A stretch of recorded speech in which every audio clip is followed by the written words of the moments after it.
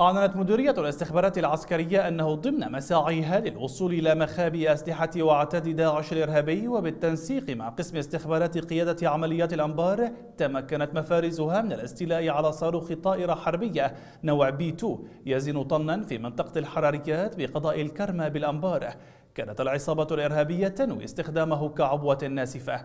كما داهمت مفارز أخرى من الاستخبارات العسكرية ورشة لتصنيع العبوات الناسفة في قضايا اللعفر وتم الاستيلاء على مواد تفجير.